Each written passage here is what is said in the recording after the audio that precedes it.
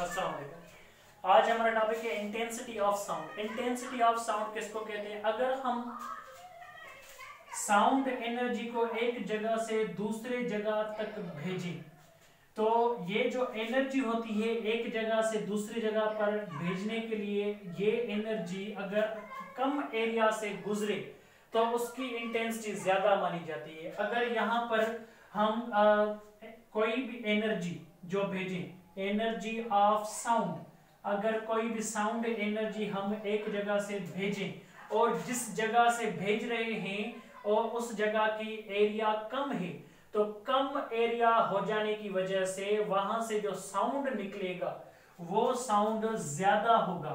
क्यों? क्योंकि अगर एनर्जी कम एरिया पर निकलेगी तो वो ज़्यादा नज़दीक एनर्जी का इफ़ेक्ट हो जाने की वजह से उसका इफ़ेक्ट बढ़ जाएगा। और एनर्जी जो हम भेजते हैं, वो एनर्जी जिस एरिया से निकलती है परपेंडिकुलरली उस एरिया को हम डिवाइड कर दें। और एक सेकंड में एनर्जी जो एरिया से निकलेगी हम उस एनर्जी को इंटेंसिटी ऑफ़ साउंड बोलेंगे। Intensity of sound intensity of sound क्या है? इंटेंसिटी ऑफ़ साउंड को एक अलग तरह से समझे। Energy per second delivered through the area perpendicularly is called intensity of the sound so energy per second तो पावर ऑफ़ साउंड हो गया। Power of sound energy divide by area. यहाँ पर हम देखें कि ये जो इंटेंसिटी है इंटेंसिटी ये intensity power of sound divide by area के बराबर है। कम एरिया से अगर एरिया कम हो तो इंटेंसिटी ज़्यादा होगी। ज़्यादा एरिया होगी तो इंटेंसिटी कम होगी।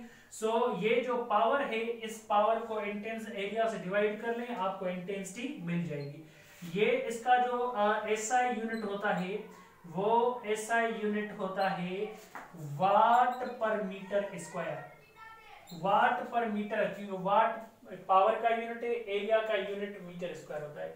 Watt per metre square is the unit of intensity of the sound और इसमें जो इसके खास करके हमारे पास इफेक्ट्स होते हैं, हमने हमने इस तरह से पढ़ा हुआ है कि हमारे पास जो लाउड स्पीकर्स होते हैं उनकी जो एरिया होती है, वो हम कम रखते हैं ताकि उसमें से इंटेंसिटी ज़्यादा हो।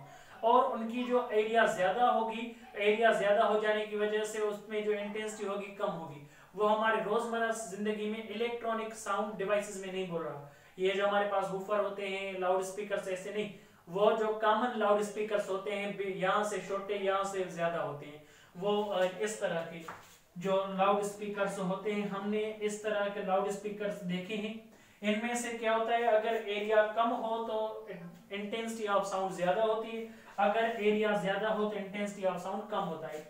इंटेंसिटी का मतलब होता है आवाज़ की शिद्दत। आवाज़ की शिद्दत बढ़ाना है तो आपको कम एरिया से साउंड भेजना पड़ेगा। और यहाँ पर हम देखें तो हमें पता चलेगा, ये हमारे पास इंटेंसिटी वाला फार्मूला है। इंटेंसिटी यहाँ पर directly proportional to M square of amplitude भी होती है। Intensity of sound is directly proportional to the square of amplitude amplitude के स्क्वायर पर। ये कभी दूसरे लेक्चर में हम आपको बताएँगे कि इंटेंसिटी स्क्वायर ऑफ़ एम्पलीट्यूड के क्यों बराबर होती है डायरेक्टली प्रोपोर्शनल होती है। यहाँ पर हमें जो काम वाली चीज़ पढ़नी है यहाँ पर वो है लाउडनेस लाउडनेस और इंटेंसिटी लेवल ये हमें इंटेंस लेवल रेफर करना है। इंटेंसिटी लेवल क्या है? लाउडनेस क्या है? यहाँ पर हमने ये तो पढ़ा हुआ है कि इंटेंसिटी अगर ज़्यादा होगी तो आवाज़ बढ़ जाएगा। आवाज़ पतला नहीं होगा, आवाज़ बढ़ जाएगा। और ज़्यादा इंटेंसिटी अगर और ज़्यादा हम एम्पलीट्यूड बढ़ाएँगे तो और ज़्यादा इंटेंसिटी बढ़ेगी। एम्पलीट्यूड कम तो इंटेंसिटी कम। एम्पलीट्यूड ज़्यादा तो इंटेंसिटी ज़्यादा। अगर हम एम्पलीट्यूड बढ़ाते बढ़ाते इंटेंसिटी को बढ़ाए। अगर हम एम्पलीट्यूड को कम करते जाएँ तो इंटेंसिटी भी कम हो जाएगी। अगर हम धीमा धीमा बोलें तो इंटेंसिटी उस आवाज़ की कम होगी। हम कितनी कम आवाज़ से आ, सुन सकते हैं वो इंटेंसिटी जो हम हियर कर सकते हैं सुन सकते हैं उस इंटेंसिटी को फंडामेंटल इंटेंसिटी कहा जाता है। फंडामेंटल इंटेंसिटी वो आवाज़ की इंटेंसिटी जो इंसान सुन सकता है कम अज कम।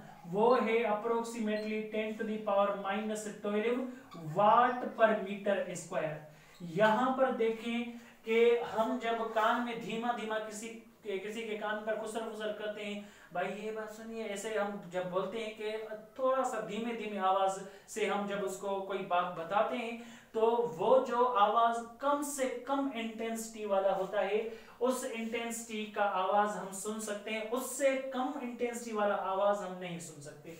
उस इंटेंसिटी को हम कहते हैं फंडामेंटल इंटेंसिटी और इसको आई नॉट से रिप्रेजेंट किया जाता है।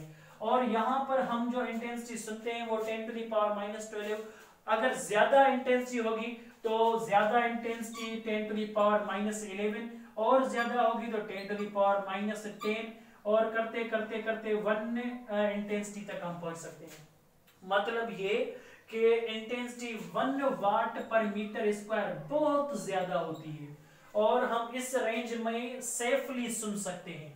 मतलब 10 की पावर में इंटेंसिटी बढ़ती ज़्यादा कम होती है। सो so, uh, 10 की पावर में पावर एक्सपोनेंट होता है। The exponent in the form of the uh, base uh, the exponent the study of exponent in the form of base 10 is called logarithm means अगर किसी exponent की study हम करें जिसमें बेस हमेशा 10 हो तो उस एक्सपोनेंट की वैल्यू क्या निकलेगी आ, हम लागर्थम लगाकर ये बात समझ सकते हैं और यहाँ पर हम क्या कर रहे हैं यहाँ पर हम लॉग ले रहे हैं लॉग किसका जो इंटेंसिटी हम बोलें और हम माइनस करेंगे लॉग किसकी? Intensity log of fundamental intensity जो कम से कम इंटेंसिटी होती है, उसको माइनस करें। कौन सी इंटेंसिटी जिस इंटेंसिटी से मैं बोल रहा हूँ तो मुझे डिफरेंस मिलेगा दो इंटेंसिटीज का। उस डिफरेंस को हम कहते हैं लाउडनेस और ये जो लाउडनेस है, इसको पी की सिंबल से रिप्रेजेंट किया जाता है। और हमें लॉगरिथमेटिक प्रॉपर्टी के ऊपर लॉग क्यों दिया हुआ है? क्योंकि दोनों की बेसिस टेन रहेगी और इनमें एक्सपोनेंट होगा। Exponent itself is called log log of i minus log of i not जो भी वैल्यू आए वो हमारे पास लाउडनेस बन जाती है। माइनस से डिवाइड बन जाएगी, क्योंकि logarithmic by nature minus divide में तब्दील होती है, ये इसकी प्रॉपर्टी होती है। So log of both in the minus becomes I divide by I not ये हमारे पास इसमें जो बेस बनेगा बेस टेन होगा। और यहाँ पर ये जो इक्वल की सिंबल है, पहले यहाँ पर प्रोपोर्शनल की सिंबल थी। और इस वैल्यू के प्रोपोर्शनल थी। प्रोपोर्शनल हटा दिया गया तो यहाँ पर कांस्टेंट के तो आएगा। ये क्या है? K is the unit of intensity level और हमें पता है कि इंटेंसिटी लेवल का कोई यूनिट तो होगा ही नहीं, क्योंकि इंटेंसिटी का unit watt per metre square इसका वाट पर मीटर स्क्वायर ये तो दोनों कैंसिल हो जाएँगे।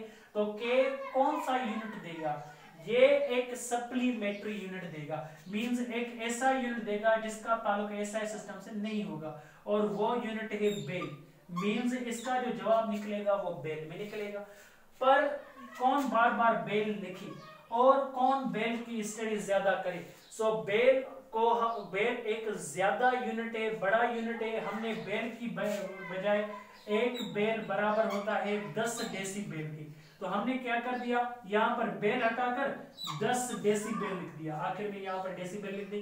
डेसी बेल मीन्स यहाँ से जो भी जवाब आएगा, वो डेसी बेल में आएगा। बेल दरअसल कोई ऐसा यूनिट नहीं है।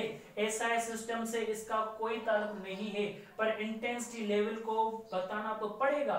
और इसको अच्छी तरह से बताने के लिए एक एक्स्ट्रा यूनिट दिया गया है बेल। और बेल को हटाकर 10 डेसिबल दिए गए हैं। ये 10 इस पूरे फैक्टर से मल्टीप्लाई होंगे। तो ये हमारे पास एक इंटेंस लेवल की इक्वेशन हो गई। Thank you